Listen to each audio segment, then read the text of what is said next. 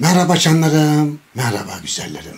Bir zamanlar Tanrı yeryüzündeki hayvanlara öfkelendiğini anlatabilmek için, belirtebilmek için, ifade edebilmek için cehennemde zehirle doldurulmuş salgın hastalık şişelerini bütün hayvanların üzerine gönderdi. Her hayvanın üzerine en az bir şişe düştü. Hayvanların pek çoğu öldü, kimileri ise ölmedi ama yarı ölü gibiydiler. Yerlere uzanmış yatıyorlardı. En dirileri, en irileri, en kahramanları aslan bile acıkmıyordu.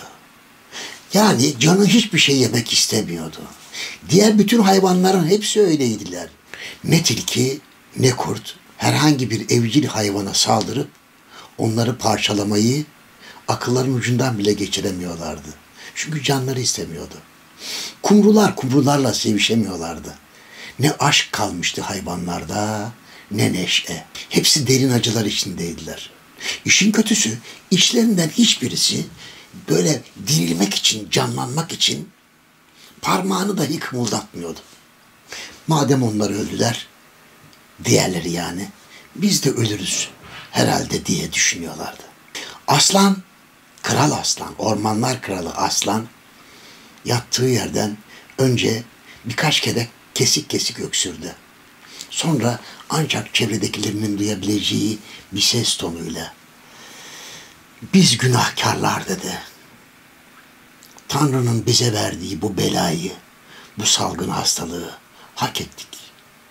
Ben mesela dedi. Nice masum kuzunun kanına canına girdim. Onları paramparça ettim, yedim. Oysa onlar bana hiçbir şey yapmamışlardı. Ama ben acıkmıştım ve onları yemek zorunda olduğumu hissediyordum. O halde tanrıların böyle durumlarda bizlerden birer kurban istediğini hepimiz biliyoruz. Değil mi dedi? Hepsi inleyerek ha tabii ya evet kralım falan dediler. O halde dedi Tanrımızı sevindirmek bize verdiği bu lanet yüzünden bizi affetmesi için ondan özür dilemeli, ona bir kurban vermeliyiz. Bu kurban içimizden biri olmalı. Durdu, sesine bir hüzün, bir keder yükledi. Mesela ben dedi. Yediğim zavallı masum kuzların günahını beni kurban ederek de çıkartabilirsiniz. Tilki oradan araya girdi.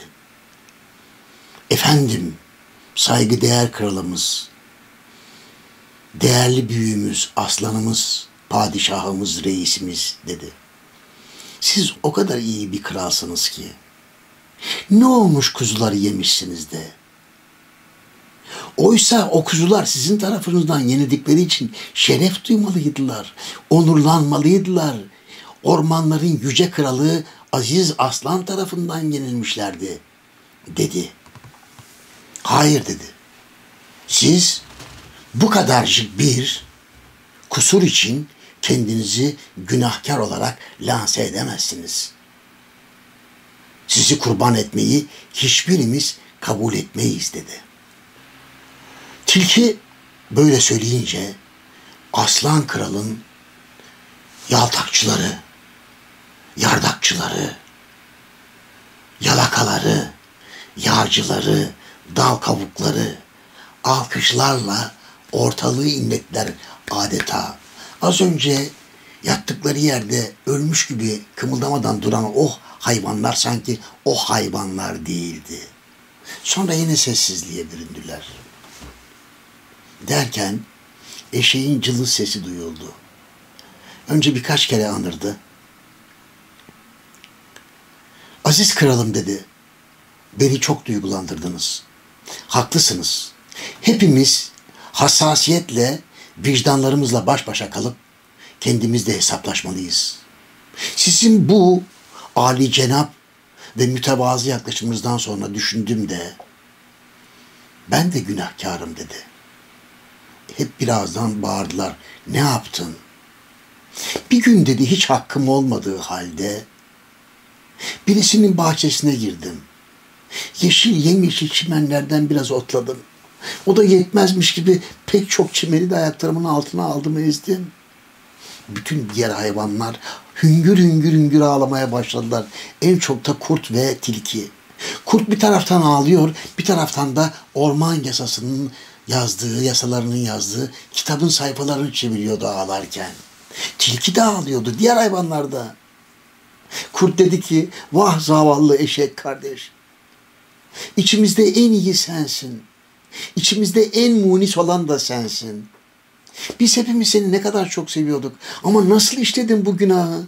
Ama ne yapalım? Şimdi bak ormanlar yasasında diyor ki herhangi birisinin bahçesine haksız olarak girip o çimenleri otlayan hayvan büyük günah işlemiş sayılır. Cezası asılarak öldürülmektir. Ah ah eşek kardeş nasıl yaptın o hatayı? Kurt bir taraftan ağlıyor, diğer yandan da böyle böyle iki eliyle kitabı da havaya savurarak elindeki diğerlerinin de ağlamalarını, coşmalarını istiyordu. Evet, herkes daha çok ağladı, en çok kurt ağladı. Aslan da karşıdan sessizce olan biteni izledi ve karar kılındı. En büyük günahkar eşekti. Eşeği idam etmeleri gerekiyordu. Sehpa kuruldu ve eşeği idam ettiler. La Fontaine'den masallar. Evet, La Fontaine kitabım yukarılarda bir yerde. Çok sevdiğim kitaptır. Daha önce de size La Fontaine'den birkaç fıkra okudum. Kıssa okudum, fable okudum. Ve hatırlarsanız en çok da sevgili ve eski Maliye ve Hazine Bakanımızın anlattığı iktisadi olayları, iktisadi taahhütnameleri La Fontaine'den masallar diye tanımlardım. Evet. Aslında gülüyorum tabii ki ama bu gülünecek bir fable değil ama hoş. Biz yine de gülelim canlarım, güzellerim. Güçlülerin elindeki mahkemeler, güçlüler tarafından adeta esir alınmış mahkemeler ve güçlülere esir olmuş hem de bu esareti gönüllü olarak kabul etmiş yargıçların ve savcıların bulunduğu mahkemeler karşılarına getirilen insanları işledikleri suça ya da işlemedikleri suça göre değil, bulundukları makam ve mevki ile esiri oldukları güçlülere yakın ya da uzak olmalarına göre siyaha veya beyaza boyarlar. Bizler siyaha boyar, boyananlardanız. evet, bizler siyaha boyanıyoruz. Evet bizim karşımızda olanlar yani güçlülere yakın olanlar, güçlülerin yardakçıları, yalakaları, yağcıları, dal kavukları ve affedersiniz hıyarları ise beyaza boyanıyorlar. Evet. Ölü rengi ama beyaz. Ya canlar. Enseyi karartmayayım be. Evet. Dün gece biraz öfkeliydim iyi mi yaptım, kötü mü yaptım bilmiyorum ama insanlar bazen hepimizde vardır. iradesinin dışında olayların karşısında heyecanın ötesine geçerler ve öfkelenirler. Ben de dün gece biraz öfkelenmiştim. İnanın bana bazıları kızıyorlar ama Meral Akşener isterseniz ne düşünürseniz düşünün, inanın inanmayın. Yemin edecek halim yok çünkü doğru söylediğimden eminim. Meral Akşener benim kız kardeşlerimden biri gibidir. Evet. Ama ben kız kardeşlerimi de eleştiririm. Hem de onları da canım kadar sevdiğim halde eleştiririm. Ben dünyada en çok sevdiğim anneciğimi ve sevgilimi de eleştiririm. Neden eleştirmeyeyim? Yanlış yapmışlarsa bana göre neden doğrusunu söylemeyeyim canlarım? Kaldı ki benim sevgilimin, anneciğimin, kardeşlerimin yaptığı zararlar dar bir aile çevresine ve kendilerine zarar verir. Ama Meral Akşener gibi yıldızı parlamış bir siyasi partinin hele böyle bir dönemden geçen Türkiye'de yaptığı yanlışlar 83 milyon insana zarar verir. Doğmamış çocuklarımıza zarar verir. Yeni doğmuş çocuklarımıza zarar verir. Kundaktaki bebeğe ilk mektepteki talebeye ve diğerlerine, herkese, hepimize, hepimize zarar verir. Benim görevim ondan çok daha deneyimli olduğuma inanarak yanlışlarına parmak basmak. Yanlış yapmamasını sağlamak. Siyaset kavga edilerek kazanılamaz. Efendim Tayyip Erdoğan kazandı. Ya bırakın Allah aşkınıza ya. Neyi kazandı ya? Ne kazandı ya? Deyin ki kazandı. Ya kaybettirdikleri? Ya kaybettirdikleri? Biz Recep Tayyip Erdoğan'ın kazandığına bakıp aa kavga edenler kazanıyor diye sevinmeli miyiz? Yoksa 83 milyon insana kaybettirdiğine bakarak kavga kaybettiriyor diye üzülmeli miyiz? Üzülmeliyiz canlarım. Bu arada kapatmadan söyleyeyim. Devlet Bahçeli. Ha gülesiniz diye anlatıyorum. Ama sahi ya şaka falan değil. Vallahi doğru haber. Devlet Bahçeli açıklama yaptı dün. Montreux anlaşması BHP'nin kırmızı çizgisidir dedi. Vallahi. İyi de amiraller ne dedi? Hay amiraller mi dedi? Montreux anlaşması bizim beyaz çizgimizdir ve tebeşirle çizilmiştir mi dedi. Devlet Bey, Devlet Bey Allah aşkına doktora git. Bak Allah aşkına doktora git. Hayır yani kolesterolün falan iyi olabilir. Onlar ilaçla düşüyor. Onlar problem değil.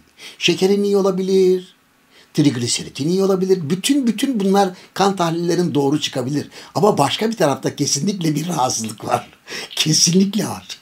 İki gün önce aporetlerini sök, sökelim dediğin, emekli maaşlarını kaldırımı, kaldıralım dediğin amiraller de senin dediğini söylediler zaten. Hani hakim Hüsmen'e sormuş adın ne? Hüsmen ama demiş içinde yumuşak G yok. Hakim demiş ki oğlum zaten Hüsmen içinde yumuşak G yok. E ben de dedim be ya demiş. Canlarım Devlet Bahçeli. Devlet Bahçeli. Devlet Bahçeli. Hepinizi sevgiyle gözlerinizden öperim. Hoşça kalın canlarım. Hoşça kalın güzellerim.